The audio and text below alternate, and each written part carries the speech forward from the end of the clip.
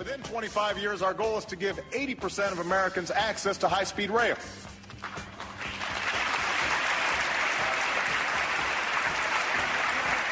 This could allow you to go places in half the time it takes to travel by car.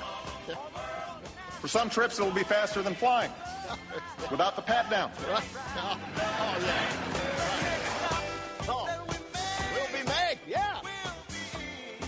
Ladies and gentlemen, that's the president's uh, goal to get you on the choo-choo.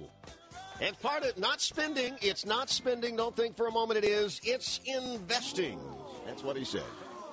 Going to get invested in the high speed rail. That's what he said. Just, you know what? Stop it. I hate it when you do that whole white man's overbiter.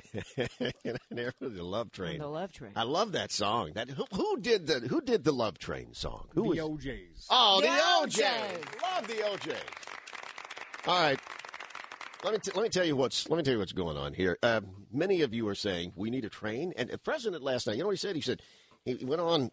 That's it rambled on last night, and he said and on and on and on. He said already, already they are planning routes, and that is absolutely true. Um, The first one is Florida, isn't it? Is Well, it Tampa, St. Pete? we're in a big race. No, we're in a big race over in the Bay Area. Uh, they're gonna they they're hoping to get billions of dollars for a high speed line from Oakland to Los Angeles. Let, th- th- he's right. There are plans. Listen, Oakland to Los Angeles. We want to yeah. We want to do one. Listen to this. We want to do one from Los Angeles to Las Vegas and then down to Phoenix. That's another one we want to do. We want to do one from Phoenix to Tucson. We want to do that. Wait, wait a minute, wait a minute. That Los Angeles to Vegas, I think Harry Reid, during his um, uh, fight with Sharron Angle this last election, wasn't he guaranteeing that about eight and a half billion was coming their way to start the study, the study, A on the rail? The study. The study. Um, listen to this. Building the. hey, give me some facts here. Let me tell you what's, what's really going on. Everybody needs to know this. Building the San Francisco to Los Angeles and Anaheim line. Uh, this would be the spine of the first part of the system that'll cost between 32.8 billion and 33.6 billion as it stands right now. There will be cost overruns. Um, there is a high speed rail authority of San Francisco and the Bay Area. It's already up and running.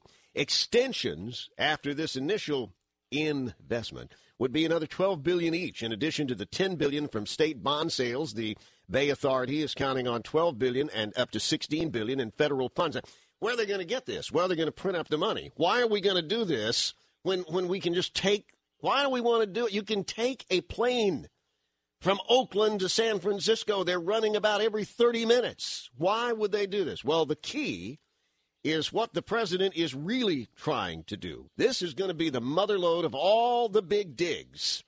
Um, here's what's behind it all. Here's the blunt instrument that they will use to make this happen.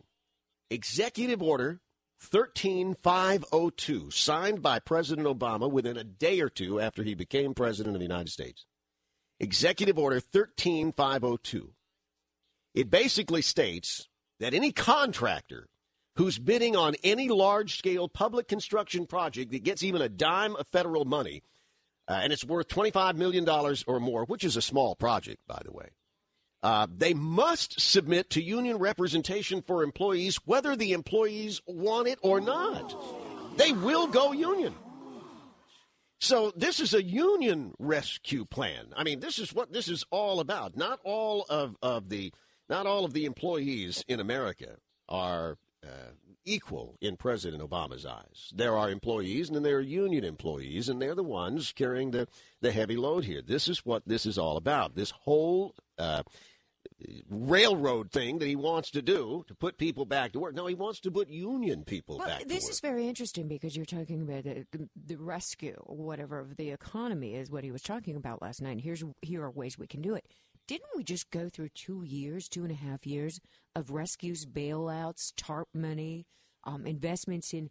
Guess what? Infrastructure. Hmm. You know, when you drive along the highway and you see those green signs that says this project is being paid for by, you know, Obama money, Right. Essentially, I thought that was the very thing we were doing Yeah. with almost a billion dollars. So no, what than- happened that. to Listen, that billion dollars? The pla- this particular plan, this railroad plan, they've already got this laid out. This is not pie in the sky. By the way, he promised this in last year's State of the Union message. You know how it was received? There were crickets chirping over this.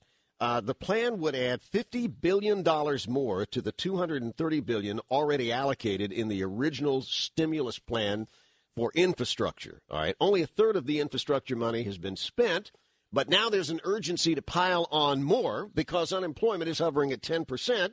So the president says he wants people, he got to get put people back to work through new upfront investments in surface transportation. Surface it, trains. They this is not for the convenience of you traveling. Of course and not. By the way, if you love the TSA at the airport, wait till you get them at the train station.